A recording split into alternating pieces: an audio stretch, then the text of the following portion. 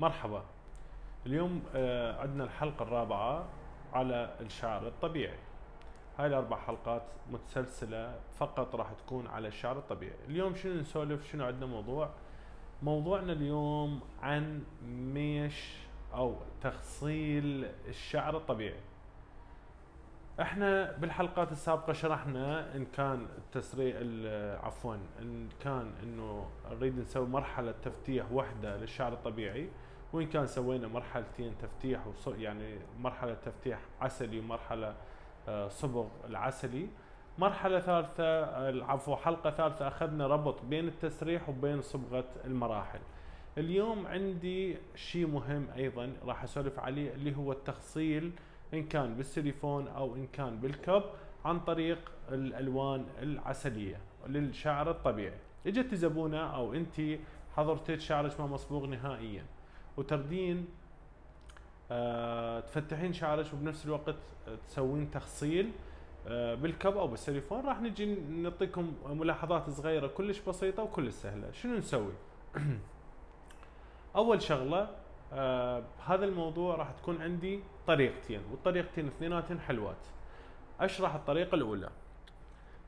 اللي يريد يصير الأمر مبسط عليه لازم يشوف الحلقات السابقة وأنا بدي أسوي لكم إياها حلقات قصيرة. شنو الأمر؟ هذا شعر طبيعي أسود. شعر طبيعي أسود نهائيا ما مصبوغ. لا مصبوغ حنة ولا بعشبة ولا ببنفسجيات ولا بحمرات ولا ببني غامق ولا بأسود مزرق ولا أسود ولا عشبة ولا أي شيء. شعر عذري نهائيا ما مصبوغ. إجت زبونة عروسة خلينا نقول أو أي زبونة. شنو رادت هذه الزبونة رادت تسوي لون وتسوي تخصيل. إيش راح أسوي؟ راح أسوي لها واحدة من هذول الطريقتين. الطريقة الأولى شنو تقول؟ تقول إنه راح أختار أشقر رمادي فاتح أو أشقر رمادي فاتح جدا.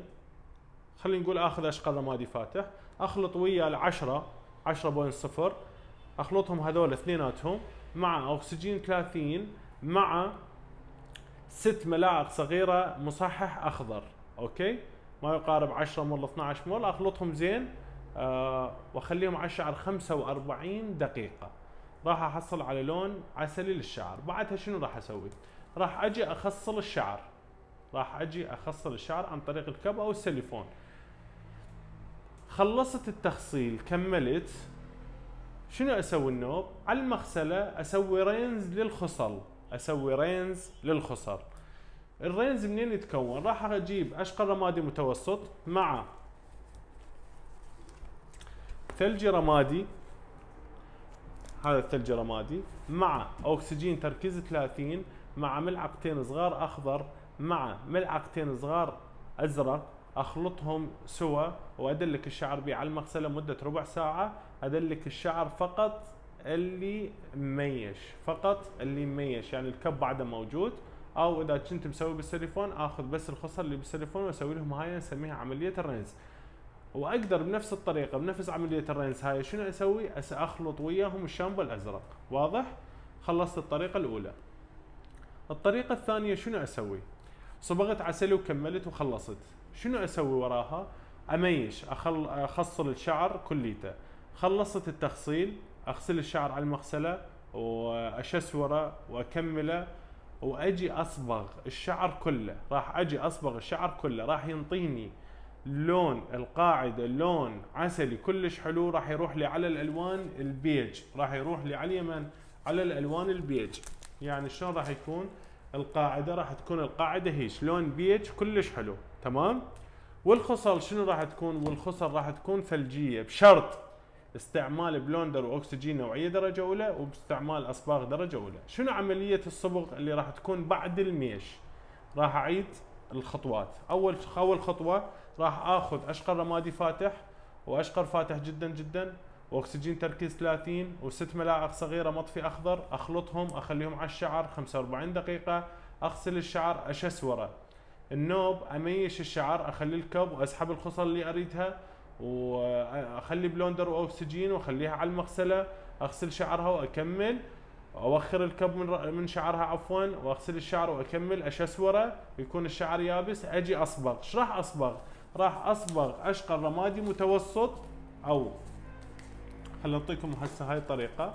اشقر رمادي متوسط مع ثلج رمادي أو اشقر رمادي فاتح مع ثلج رمادي أو آه، اشقر دخاني فاتح اشقر دخاني متوسط مع من مع ثلج رمادي. عصارتين. أكسجين تركيز 30 ملعقتين صغار أخضر ملعقتين صغار أزرق. اخلطهن زين وأصبغ الشعر كليته وأترك الصبغ على الشعر 45 دقيقة.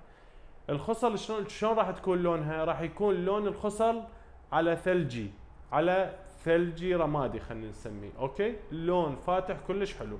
القاعدة شلون راح تتغير وشلون راح تكون؟ راح تكون على الألوان البيج. راح تكون على الألوان البيج. وخالية من اللون ال orange خالية من اللون البرتقالي بشرط إنه مستخدمين أصباغ درجة أولى. هذا اليوم آه، درسنا أيضا بسيط ومرتبط بالحلقات السابقة اليوم الحلقة الرابعة. آه، لهنا آه، راح نختم الدرس. ركزتوا وياي. تمام؟ خطوات سهلة وبسيطة ما يراد لها شيء بس يراد من عندكم تركيز وبنفس الوقت يحتاج منكم إنه متابعين الحلقات السابقة. آه أربع ثلاث حلقات سابقة وهي الحلقة الرابعة وعندنا حلقة خامسة إن شاء الله هم راح تكون على الشعر الطبيعي وبعدها نحول على بقية آه انواع الشعر لا تنسون تتابعونا على الإنستغرام على الفيسبوك آه اشتراك على القناة آه فعلوا الجرس تستفادون. آه، دروس جديدة راح تكون هواية تختلف عن الدروس القديمة. تحياتي لكم مع ألف سلام